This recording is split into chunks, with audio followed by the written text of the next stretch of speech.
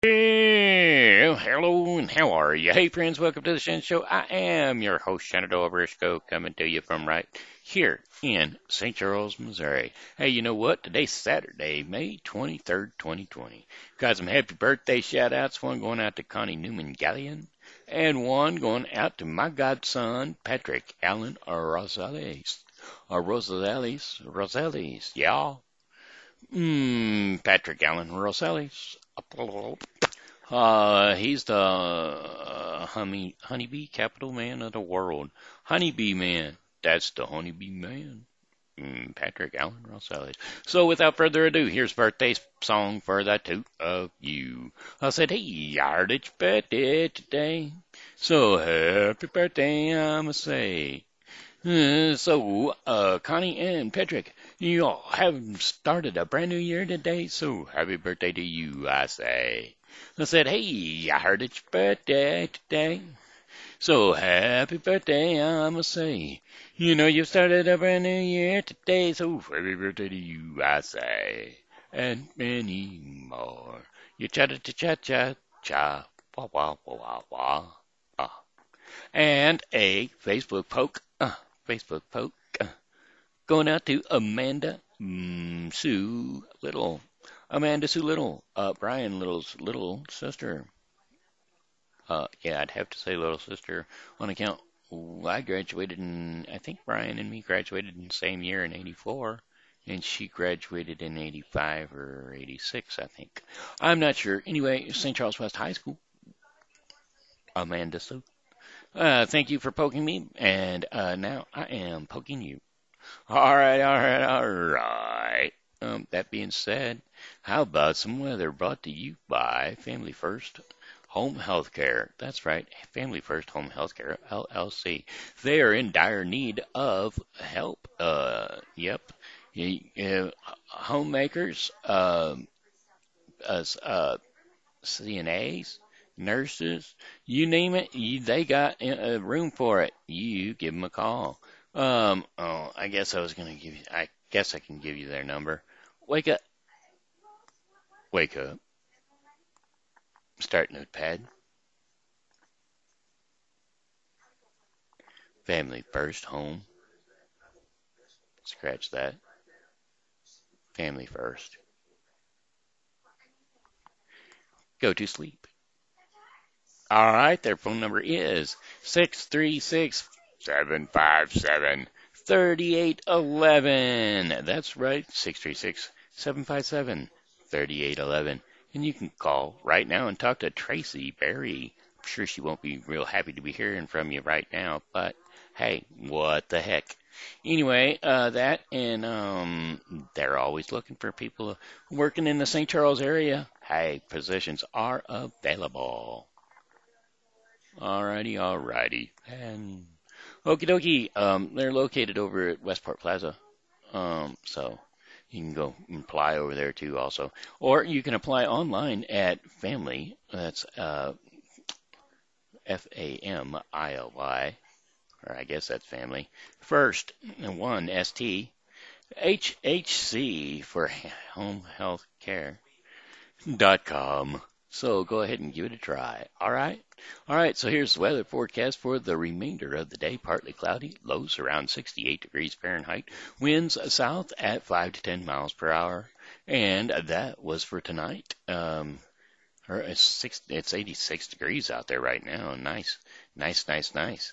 Anyway, um, sun uh, for tomorrow, Sunday, May the 24th. Partly cloudy early, scattered thunderstorms developing in the afternoon. Highs around 87 degrees Fahrenheit and winds south at 5 to 10 miles per hour.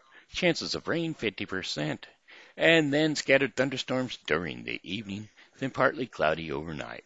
Lows around 68 degrees Fahrenheit and winds are going to be south to southeast at 5 to 10 miles per hour. Chances of rain 40%.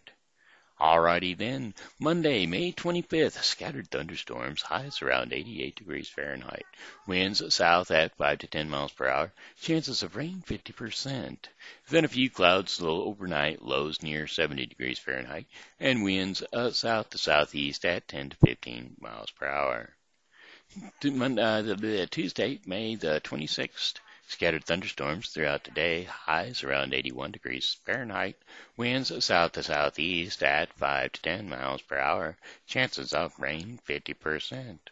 Then uh, chances of isolated thunderstorms in the evening, then variable clouds overnight with more showers at times, lows around 68 degrees Fahrenheit, Fahrenheit and winds southeast at 5 to 10 miles per hour, chances of rain 40%. And then how's about uh, Wednesday, May the 27th? Scattered thunderstorms in the morning, becoming more widespread in the afternoon. Highs around 80 degrees Fahrenheit, winds southeast at 5 to 10 miles per hour, chances of rain 80% and then scattered thunderstorms overnight. Lows around 68 degrees Fahrenheit. Winds uh, light and variable, less than 5 miles per hour. Chances of rain 60%. And then uh, hmm, scattered thunderstorms for Thursday, May the 28th. Uh, that's scattered thunderstorms in the morning, and then mainly cloudy during the afternoon, with thunderstorms likely. Highs around 81 degrees Fahrenheit. Winds north to northeast at 5 to 10 miles per hour. Chances of rain 80%. And then thunderstorms likely in the evening. Then a chance of scattered thunderstorms later on in the day. Lows around 66 degrees Fahrenheit. Winds north at 5 to 10 miles per hour. Chances of rain 80%. And there you have your five day forecast for the St. Charles viewing area. Um, hey, y'all want to watch a kind of goofy, kind of not uh, not typical, not bad um, uh, uh, um, binge watch? It's called um, Hart of Dixie. Yes, Hart of Dixie. And well, it's pretty good, so you might want to watch it. Uh, it's it's funny. It's a kind of a lovish story, kind of like thing. Kind of a city girl goes to the country and becomes the heart of Dixie. Alrighty then. Hey, um, today I'm going to read Uncle Tom's Cabin. It's for children, don't you know? And it's adapted by uh, Helen Ring Robinson by Harriet Beecher Stowe, Penn Publishing. To uh, Alcalon, uh, Al, Al, Al Kayan, to Al Kayan and here we go. Uncle Tom's Cabin. Well, maybe. What? Uncle Tom's Cabin means now. All these things happened many years ago. For more than 40 years, there have been no slaves in this country. There, they were all set free during a long war between the North and the South. It was a war high which uh, destroyed slavery and kept our country whole. But it was about a war which brought death to many thousands of the country's best and bravest sons, both the North and the South. In it was a war which brought poverty and sorrow worse than death to many uh, thousands of men and women. Our country was sca- uh, scared like poor Tom under the lash of Legree. It was made desolate, like a forest when a fire has swept over it. But as the years passed by, new trees spring up in the forest, and flowers grew again, all the more lovely because of the dis- destroying flames. Uncle Tom's Cabin. So it has been with the, this dear land of ours. In the long, terrible struggle, the North and the South leaned, uh, learned to know and to respect each other as they had never done before. They learned also how great their strength would be if they should stand together. And so they have stood together for many years, the North and the South, the East and the West, our country waiting the morn, or um, of noble day, enthroned between her subject seas. Why then, it why then, it may be asked, should a new edition of Uncle Tom's Cabin be prepared especially for children? Why should young boys and girls read this story of cru- uh, cruelties mm, that are past, of scars that are healed, of sad days that may well be forgotten? Eh, there are mm, there are two answers to this question. One is the, unique place which Uncle Tom's Cabin holds in the history of American literature. That has been briefly described in the sketch of Harriet Beecher Stowe, which with which this volume ends. And when young children's minds are first rousing to an interest in a, the history of their country, then it is the time for them to learn about the books which have helped to make their that history. The other reason is an a deep one is a deeper one. The greater evils in our country were not swept away by the Emancipa- Emancipation Proclamation. Just such evils as are described in Uncle Tom's Cabins are to be sure no longer possible here. But there are even worse forms of slavery than those Miss Stowe talk, tells about in her book, and there are many cruel matters who uh, still hold the t- la- leash, the lash, cruel masters who still hold the lash. The boys and girls of today in the South, in the North, will, as men and women have to do their past in destroying their these other forms of slavery. Uncle Tom's Cabin, every story these children read, which moves their sympathy for the poor and wretched, whether black or white, will help to fit them for the work that lies before them. Each book, every book that teaches them to pity suffering and to hate cruelty will bring near, nearer the dawn of a new emancipation morning. Such a book most surely is Uncle Tom's Cabin. You know what? I think they changed this book around a lot. And if they have, then it's not worth reading because we're going somewhere else. We're not reading it. Sorry, folks, but we are not reading this particular particular uh, volume of the book. That's not where I wanted to be. There.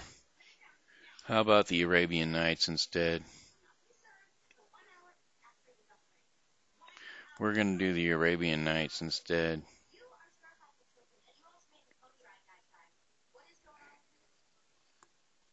The Arabian Nights, like Arabian days. Mortal. The Arabian Nights, their mm, best known tales, edited by Katie Douglas, Wiggins, and Nora A. Smith. Preface, no. Mm, preface, no. Table of contents, yes. Illustrations, no. The Arabian Nights. Mm, the talking bird, the singing tree, and the golden water. These are the stories which were told.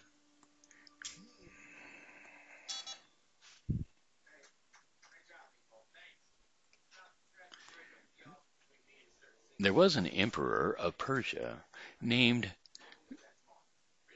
Khosrow, who, when he first came to his crown, in order to obtain a knowledge of affairs, took great pleasure in night excursions attended by a trusty minister. He often walked in disguise through the city and met with his, with many adventure. Oh, here we go.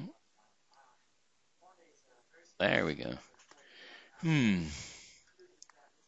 Trustworthy minister, he often walked in disguise through the city and met with many adventurers one of the most remarkable of which happened to him upon his first ramble, which was not long after his accession to the throne of his father.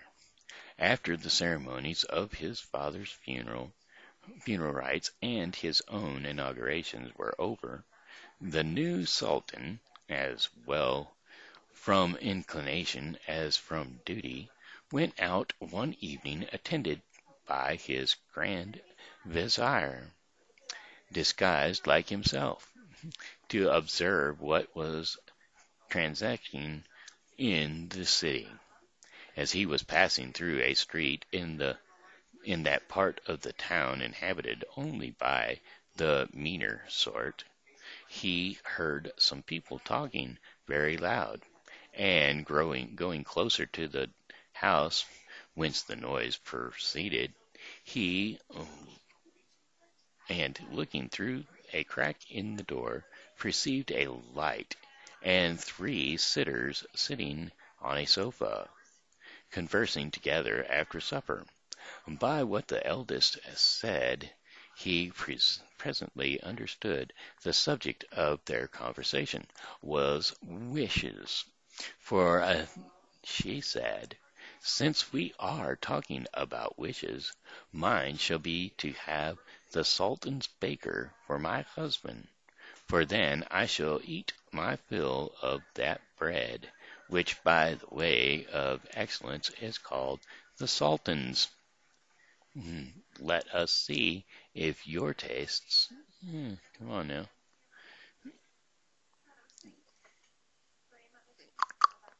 Let us see if your tastes are as good as mine, for my part, replied the second sister.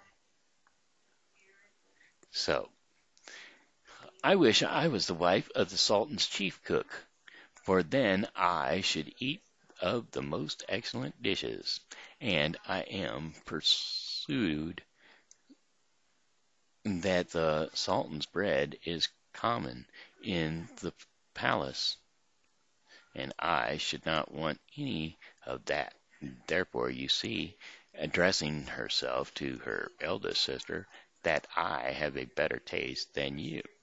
The youngest sister, who was very beautiful and had more charm and wit than her the two elder sisters, spoke in her turn.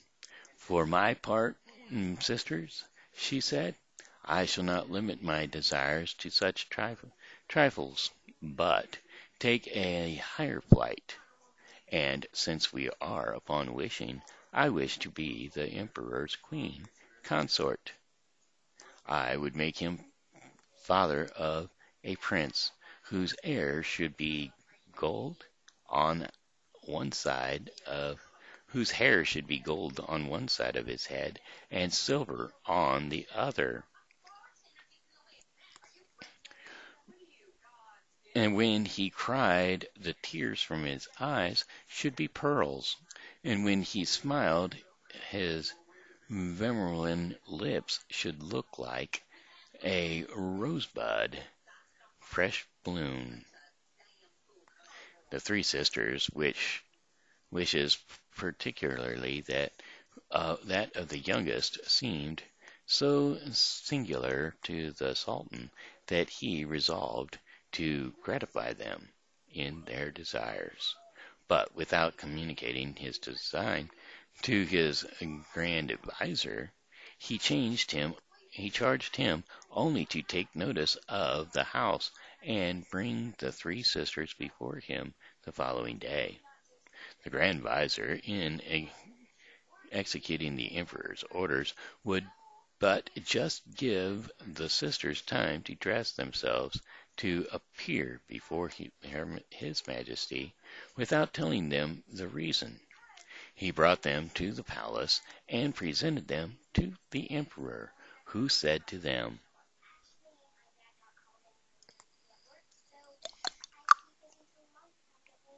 brought them to the emperor, who said to them, sorry,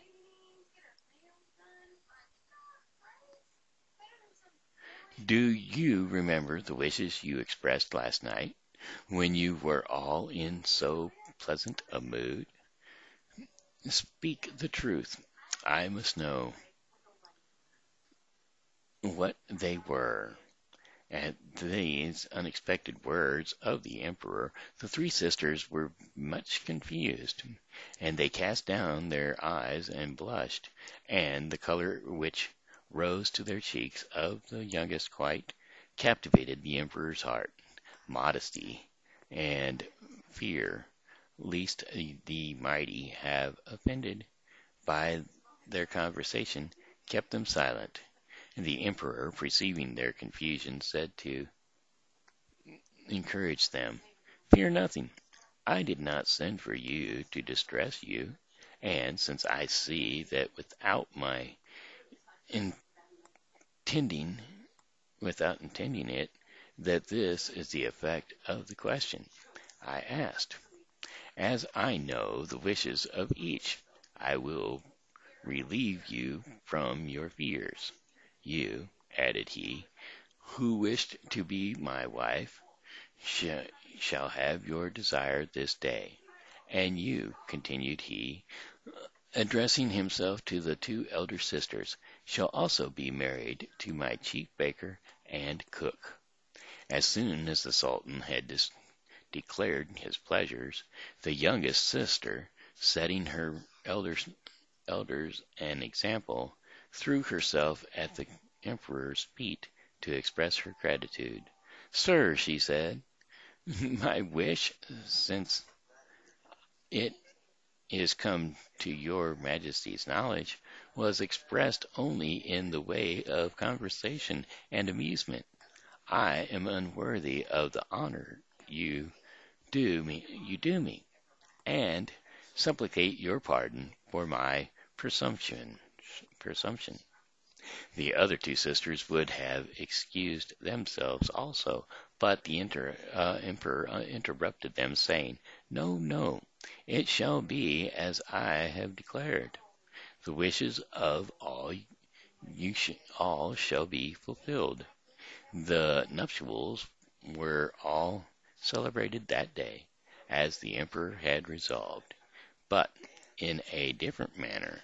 The youngest sisters youngest sisters were solemnized with all the rejoicing usual at the marriage of the emperors of Persia, and those of the other two sisters according to the quality of distinction of their husbands, uh, the ones as the Sultan's chief baker, and the other as her head cook. The two um, elder felt strongly the disproportion of their marriages. The disproportion of their marriages.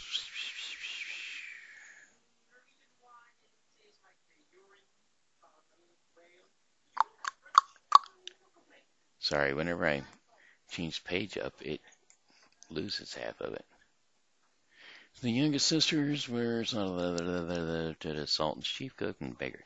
The two elder sisters felt strongly the disproportion of their marriages to that of their younger sister, and this consideration made them far from being content, though they were and they were arrived at the utmost highest of their late, late wishes, and much beyond their hopes.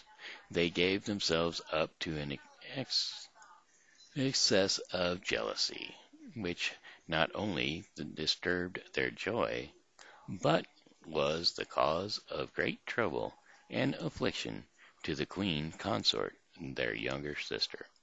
They had not an opportunity to communicate their thoughts to each other on the preference the emperor had given her, but were altogether employed in preparing themselves for the celebration of their marriages.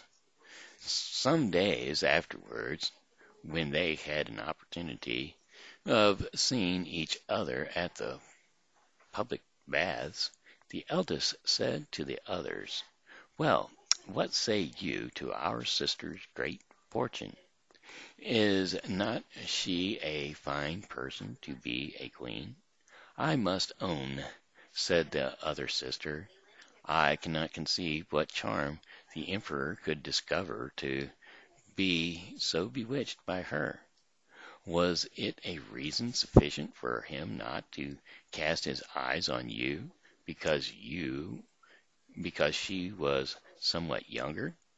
You were as worthy as of his throne, and in ju- justice he ought to have preferred you. Sister, she said, said the elder, I should not have regretted it if the, his majesty had but pitched pitched upon you, but that he should choose the that little simpleton really grieves me.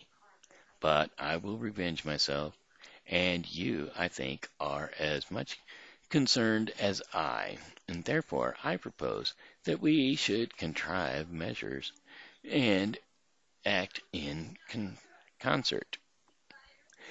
Communicate to me what you think the likeliest way to mortify her, while I, on my side, will inform you of what my desires of revenge shall suggest to me. And after this wicked agreement, the two sisters saw each other frequently, and consulted how they might and consulted on how they might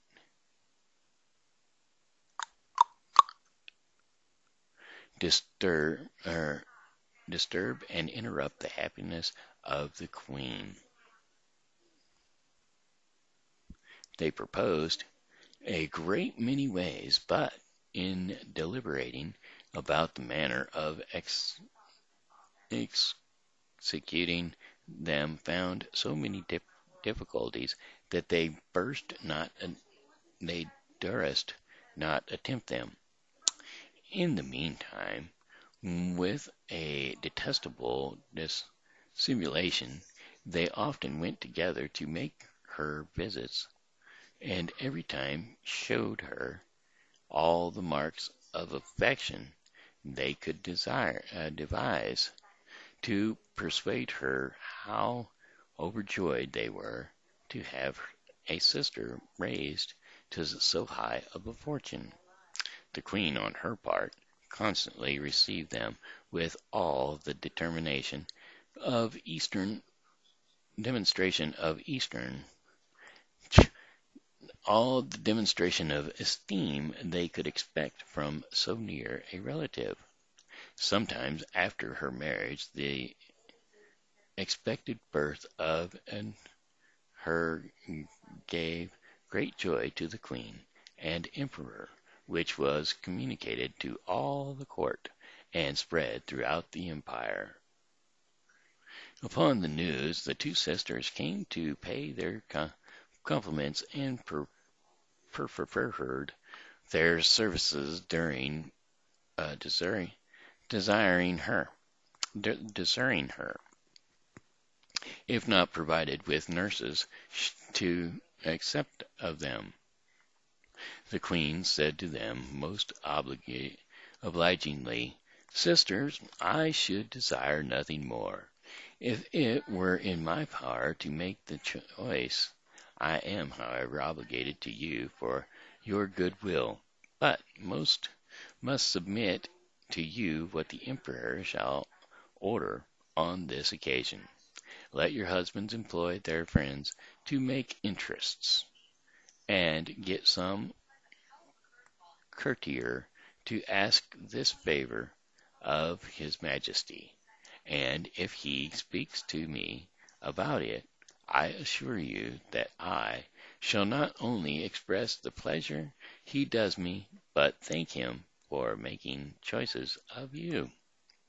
The two husbands applied themselves to some courtiers and their patrons, and begged of them to use their interests to procure their wives the honor they aspired to. Hmm, those pa- patrons exerted themselves so much in their behalf that the emperor promised them to consider of the to consider of the matter, and was as good as his word.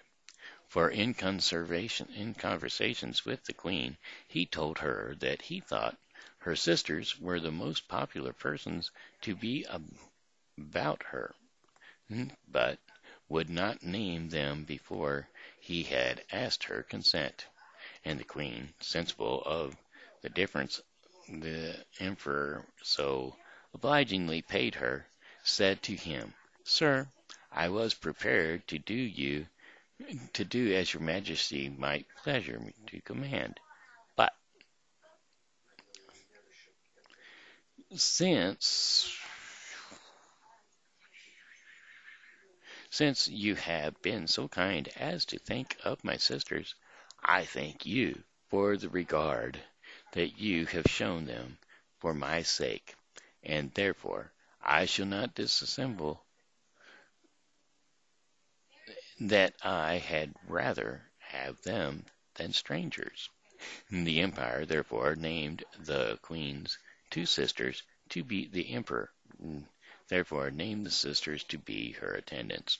And from that day they went frequently to the palace, overjoyed at the opportunity they would have of executing the detestable wickedness they had meditated against the queen. Shortly after afterwards a young prince, as bright as the day, was born to the queen, but neither his innocence nor beauty could move the cruel hearts of the miraculous sisters. They wrapped him up carelessly in his clothes and put him into a basket, which they abandoned to the stream of a small canal that ran under the queen's apartment, and declared that she had given birth to a puppy. This dreadful intelligence was announced to the emperor, who became so angry at the circumstance that he was likely to have occasioned the queen's death, hmm. if his grand vizier had not re- represented to him that he could not withhold injustice, make her an as answerable for this the misfortune.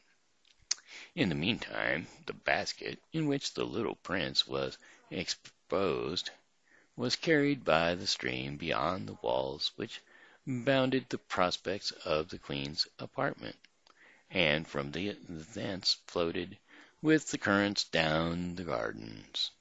By chance, the intendant of the emperor's gardeners, on one of the principal officers of the kingdom, was walking in the garden by the side of the canal and perceiving a basket floating, called to a gardener who was not far off to bring it to shore that he might see what it contained.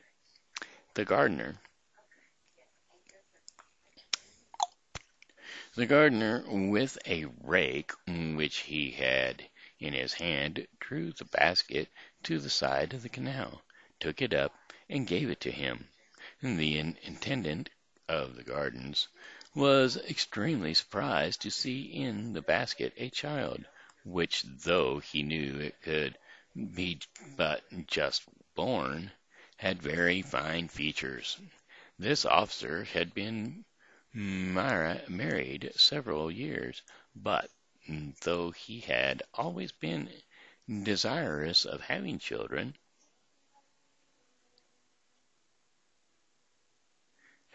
heaven had never blessed him with any. This accident inter interpreted his walk, interrupted his walk, and he made the gardeners follow follow him with the child, and when he came to his own house, which was situated at the entrance of the gardens of the palace, went into his wife's apartment. Wife, he said, as we have no children of our own, God has sent us one. I recommended him to you. Provide him with a nurse and take as much care of him as if he were our own son. And for from this minute on, I acknowledge him as much, or as such. The, attendant's wife received the child with great joy, and took particular pleasure in the care of him. The intendant himself would not inquire too many narrow too narrowly whether whence the infant came. Hmm, he saw plainly it came not far off from the queen's apartment, but it was not his business to examine too closely into what had passed nor to create disturbances in a place where peace was so necessary. The following year another prince was born, on whom the unnatural sisters had no more compassion than on his brother, but exposed him likewise in a basket, and set him adrift in the canal pretending this time that the Sultan's Sultan had given birth to a cat. It was happy also for this child that Sultan had given birth to a cat. It was happy also for this child that the intendant of the garden was walking by the canal side, side for he had it carried to his wife and charged her to take as much care of it as of the former, which was as agreeable to her inclination as it was to his own. The Emperor of Persia was more enraged this time against the Queen than before, and she had felt the effects of his anger if the guard adviser, the Grand Vizier, Remen reminiscence had not prevailed. The third year the queen gave birth to a princess, which in, in which innocent babe underwent the same fate as her brothers. For the two sisters, being determined not to detest more their detestable schemes till they had seen the queen cast off and humbled, claimed that a log of wood had been born and exposed. There. A log of wood had been born and exposed.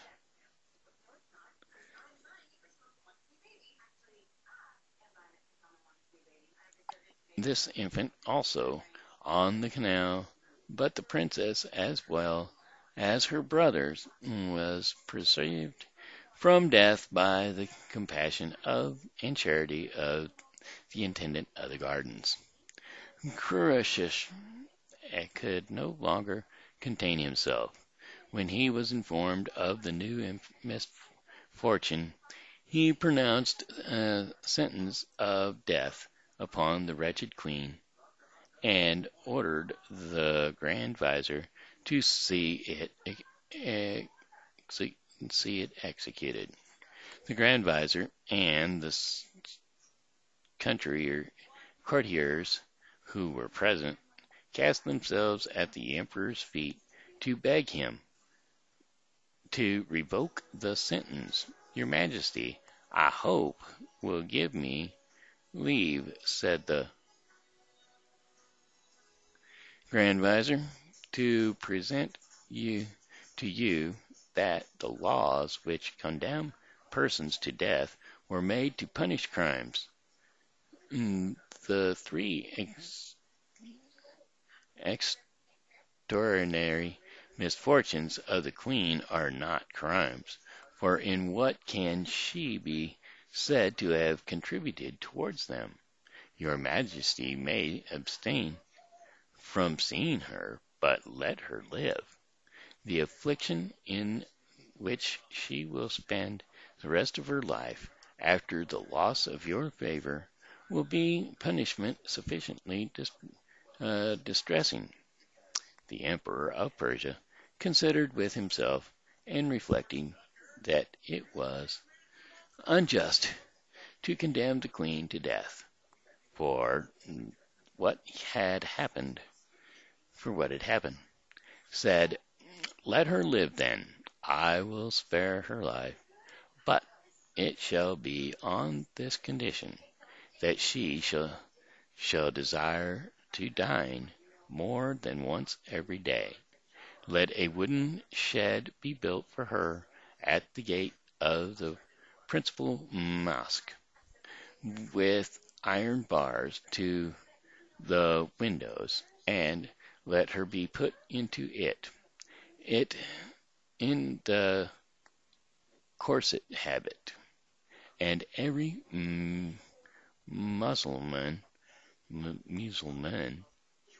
that shall go into the mosque to prayer prayers shall heap scorn upon her. And if any one fail, I will have him exposed to the same punishment, and uh, that I may be potentially obeyed. I charge you, Vizier, to appoint persons to see this done. The emperor pronounced his sentence in such a town, in such a tone that the guard vizier, grand vizier, durst not further remonstrate, and it was executed. Executed. Ah, keep turning the page. And it was executed, and uh, to the great satisfaction of the two envious sisters. A shed was built, and the queen, truly worthy of compassion, was put into it and exposed ingeniously to the contempt of the people, which usage she bore with a patient resignation that excited the compassion of those who were discriminating and judging of the things better than the vul- than the vulgar. The two princes and the princess were in the meantime nursed and brought up by the intendant of the gardens and his wife, with the tenderness of a father and a mother. And as they advanced in age, they all showed marks of superior dignity, which discovered itself every day by a certain air which could only belong to exalted birth. All the, this increased the affection of the intendant and his wife, who called the eldest prince of Bahman and the second Pervez, and both of them names of the most ancient emperors of Persia, and the princess Parizade, which name also had been borne by several queens and princesses in the kingdom.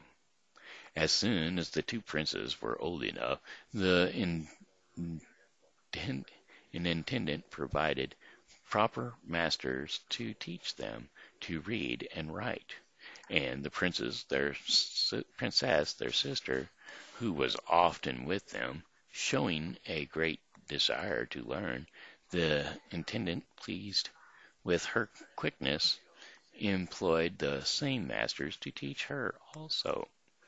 Her uh, vivacity and perceiving wit made her in a little time as great a proficient as her brothers. From time to time the brothers and sister had the same minister, master in geography, poetry, history, and even the secret senses, censuses, and made so wonderful progress that their tutors were amazed, and frankly owned that they could teach them nothing more. At the, uh, at the hours of recollection, recre- recreation, the princess, the princess learned to sing and play upon all sorts of instruments. And when the princess, princess, princes were learning to ride, she would not permit them to have that advantage over her. But when they all the exercises with them, learning to ride also, to bend and bow, and dart the reed or javelin, and oftentimes outdid them in the race and other con- contests of agility. The intendant of the garden was so overjoyed to find his adopted children so accomplished in all their perfections of the body and mind that they so well required the expense that he had been at their education that he resolved to be at a still greater, for, as he had until until then became content simply with his lodge at the entrance of the garden, and kept no country house. He purchased a mansion at a short distance from the city, surrounded by a large tract of arable land, meadows, and woods.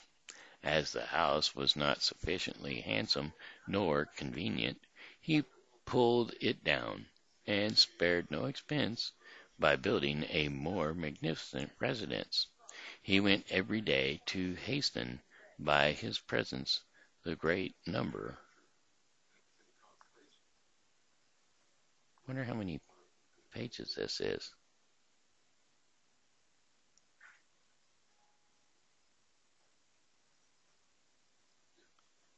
Okay, well, I think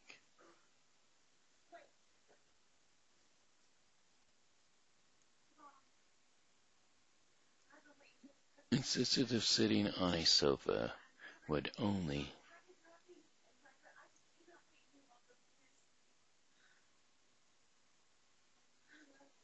well I'm lost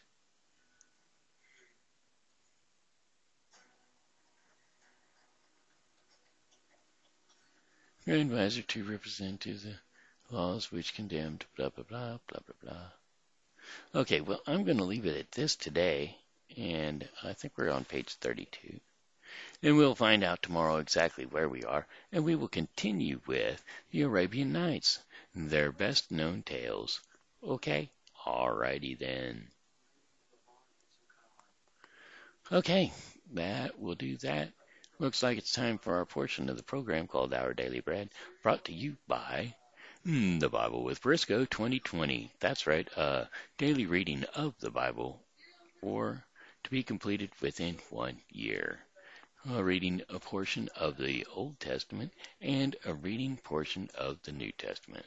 Today's scriptures insight, or today's today's um, devotion is called Keepers of the Light, and the inscriptions that go with that would be the scripture insight would be John 8, 12 through 20, uh, 12 through 16. John 8, 12 through 16. When Jesus spoke again to the people, he said, I am the light of the world. Whoever follows me will never walk in darkness, but will have the light of life. The Pharisees challenged him. Here you are appearing as your own witness. Your testimony is not valid. Jesus answered, Even if I testify on my own behalf, my testimony is valid, for I know where I came from and where I am going. But you have no idea where I came from or where I am going. You judge by human standards, and I pass judgment no, on no one. But if I do judge, my decisions are true, because I am not alone. I stand with the Father who sent me. Ooh, there you go. That was John 8, 12, 6, 12 through 16. And that concludes the Daily Bread portion of our program brought to you by the Bible with Briscoe 2020. Alrighty, that's got it for tonight. Um, that'll be the end of it. This here has been Shenandoah Briscoe saying hello and how are you? Thanks for tuning in to the Shen Show. And hey, tell me if you like the reading. Um, if that's a good idea, not yes or no, uh, let me know. Uh, throw down some comments down below, okay? Alrighty then. Shenandoah Briscoe saying, well, goodbye, my friends. It's uh, time to go. I said, goodbye, my friends. It's a time to go. I hate to leave you, but I really must go. So goodbye, my friends, goodbye. This here's been Shenandoah Briscoe saying hello and how are you? Thanks for tuning in to the Shen Show, and as always, you know, God loves you and so do I. So come back and see me tomorrow because, well, hey, I'll be here and I hope that you are too.